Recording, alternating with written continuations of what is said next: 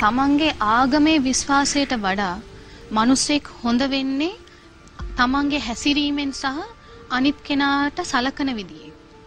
අපි හැමෝම දැන් අද දවසේ වුණත් අපි කතා කරන්නේ එක්තරා ආගමක යටතේ නැත්නම් එක්තරා භාෂාවක නැත්නම් එක්තරා ජාතියක යටතේ අපි කැළඹ ගෑනී නැත්නම් ත්‍රස්තවාදීකම කරන එකනේ. මම ඇත්තටම කැමතියි මේ හැමෝගෙන් අහන්න. දැන් මම දෙමළ. මම ඇයි දෙමළ වුනේ? මගේ අම්මා තාත්තා මාව දෙමළ කරා. ඒ නිසා තමයි මම දෙමළ වුනේ. ඒ නිසා තමයි මගේ මව් භාෂාව දෙමළ වුනේ. මගේ කිසිම දෙයක් මට අයිති නැහැ. මම කැමැත්තෙන් ගෑණියෙක් උනේ නෙමෙයි. මම කැමැත්තෙන් නෙමෙයි මම දෙමළ වුනේ. මගේ කැමැත්තෙන් නෙමෙයි මගේ මව් භාෂාව දෙමළ වුනේ. මගෙන් පෙර හිටපු කට්ටිය මට දීපු දෙයක් තමයි මේ මම ඉස්සරහට අරගෙන යන්නේ. ඒ වගේම තමයි අපි හැමෝම. දැන් මගේ ගෙදර පෞද්ගලිකව මම කතා කරන්න ගත්තොත් මගේ අම්මගේ අම්මා බුද්ධාගම. නුවර උඩරට බුද්ධාගමේ සිංහල කෙනෙක්. ඉතින් එතුමිය අදට එයා මැරෙනකොටත් ජීවත් වුණේ සිංහල විදියට. අපි අදටත් බුදුන් වදිනවා අපේ ගෙදර. මගේ අත්තම්ම නැති වුණාට අදටත් මම බුදුන් වදිනවා. ඉතින් මට කියන්න බෑ මම 100ට 100ක් දෙමළ කියලා. කිසිසේත්ම මට කියන්න බෑ. අපි හැමෝම ආපස්සට හැරිලා අපේ මට කියන්න පුළුවන් මගේ 100ගේ නම මොකක්ද කියලා. මගේ 100ගේ 100ගේ 100ගේ නම මොකක්ද කියලා කාගෙන් හරි අහනකොට කාට හරි හරියට උත්තරයක් දෙන්න පුළුවන්ද? බෑ. හරිම අමාරුයි. ඉතින් අප මම කොහොමද කියන්නේ මම 100ට 100ක් දෙමළ මම දෙමළ ජාතිය වෙනුවෙන් හරි දෙමළ භාෂාව වෙනුවෙන් හරි මම පෙනී සිටින්න ඕනි කියලා කියන්න බෑ. අපි අනතුරක් වෙච්ච වෙලාවට මට ලේ බිඳක් ඕන නම් මට නැගිටලා කියන්න බෑ මට දෙමළ ජාතිකයේ ලේ දෙන්න මට කියලා. මට ඒ වෙලාවට අපි අහන්නේ නෑනේ මේ වගේ දේවල්. අපි බත් කටක් කනකොට ඒ බත් කටේ තියෙන බත් ඇටයක් සිංහල කෙනෙක්ගෙන්ද එන්නේ සිංහල ගොවි ජනතාවගෙන් දෙන්නේ මුස්ලිම් ගොනි ජනතාවෙන් එන්නේ නැත්නම් දෙමළ දෙමළ ගොවි ජනතාවෙන් දෙන්නේ කියලා මම දන්නේ නැහැ. හැබැයි මම කනවා මගේ බඩේ බඩගින්න. ඉතින් මේ වගේ දේවල් ඔළුවේ අපි තියාගෙන මේ වගේ දේවල් එක තමයි අපි ජීවත් වෙන්නේ. ඉතින් එහෙම තියෙනකොට මම කොහොමද තනි පුද්ගලයෙක් හැටියට මේ ජාතිය වෙනුවෙන් හරි භාෂාව වෙනුවෙන් හරි තව පුද්ගලයෙක්ට හානියක් හරි නැත්නම් තව ආගමකට හරි තව භාෂාවකට හානියක් කරන්න මට කොහෙන්ද අයිතිය ලැබෙන්නේ? මට ලැබිලා තියෙන දේම මට අයිති නෑ. මට ලැබිලා තියෙන මේ හැමදේම තව කෙනෙක් මට දුන්නු එක. ඉතින් මම කොහොමද තව කෙනෙක්ගේ අයිතිය කඩාකප්පල් කරන්නේ නැති කරන්නේ?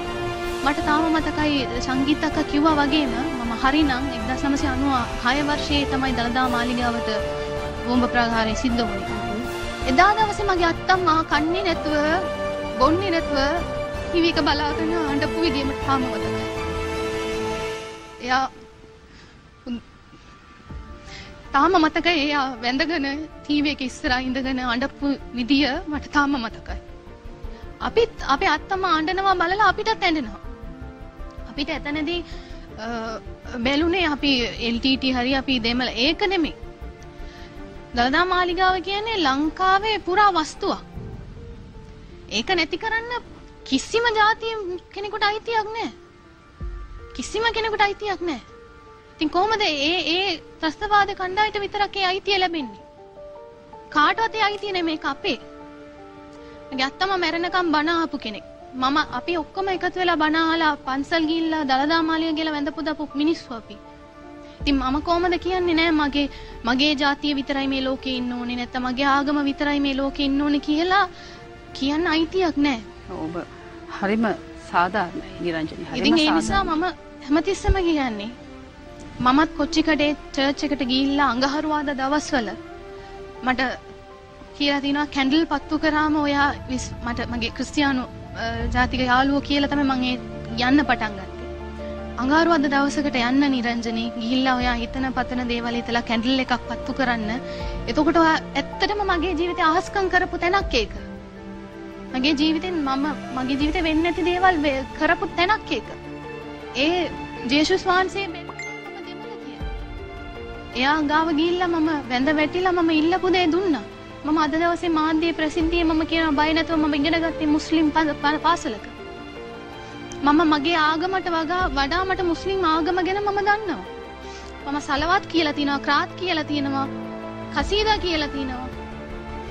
කිසි තැනකදී එහෙම කියලා නෑ තමන්ගේ ආගම හරි තමන්ගේ භාෂාව මුල් කරගෙන මිනිස්සු මරන්න කියලා කිසි සෙතනක ඉස්ලාම් ආගමේ කියලා නෑ.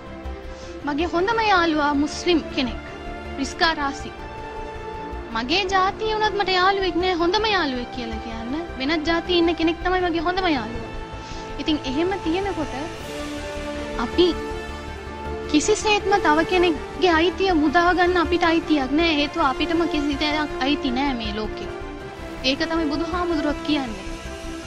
මේ ලෝකෙ කිසි දෙයක් අයිති නෑ හැපි හැබැයි අපි උනත් බෝධි පූජා කරන්න ගිල්ලා බුදුහාමුදුරුව හැමදේම අත්තරලා හිටපු බෝගා ගාව ගිල්ලා අපි ඉල්ලන්නේ මට හැමදේම දෙන්න කියලා. තේරෙනවද?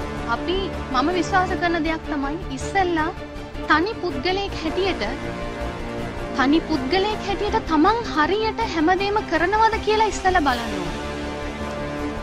ලංකාවේ හැටියට ලංකාවේ ජාතිකයෙකුට ලාංකිකයෙක් හැටියට මගේ මව්බිම වෙනුවෙන් තනි පුද්ගලයෙක් හැටියට මම ඉස්සල්ලා හරියට මගේ ලංකාවට ඉටු වෙන්න ඕන වගකීම් මම ඉෂ්ට කරනවද කියලා මම හිතන්න ඕනේ. ඉස්සලා තනි පුද්ගලයෙක් හැටියට. මම ලංකාව වෙනුවෙන් මම මොනවද කරලා තියෙන්නේ? ලංකාවේ රූල්ස් මම හරියට පිළිපදිනවද? ඉස්සලා එහෙම හැදෙන්න ඕනේ අපි අපි එහෙම හැදිනම් පස්සේ තමයි මට අයිතියක් ඉන්නේ තව කෙනෙකුට ඇඟිලි දික් කරන්න අපි සාමාන්‍යයෙන් ඇඟිල්ලක් දික් කරනකොට ඇඟිලි තුනක් අපේ පැත්තට හැරිලා තියෙන්නේ ඒ ඇයි අනිත් කෙනාට ඇඟිලි දික් කරන්න කලින් උඹේ වැරද්ද ඉස්සලා හදාගනින් කියලා. අපි ඉස්සල්ලාම තනි පුද්ගලයෙක් හැටියට අපි තම තමන්ගේ පෞද්ගලික ආගම් දාමම් තියෙනවා. හැමෝම පිළිපදයි මම හින්දු ආගම් අයියා බුද්ධ ආගම ෂඩ්යා ඉස්ලාම් ආගම් පිළිපදනවා. මම විශ්වාස කරන දෙයක් තමයි කවුද හරියට තමන්ගේ ආගම හරි තමන්ගේ සංස්කෘතිය හරියට පිළිපදින්නේ ඒ මනුස්සයා අනිත් ආගමට අනිවාර්යෙන් ගරු කරනවා. අනිවාර්යෙන් තවත් ආගමට ගරු කරන අනිත් අනිවාර්යෙන් තවත් ආගමේ තියෙන දේවල් වලට විශ්වාසය කරලා ඒකට ඉඩ දෙනවා.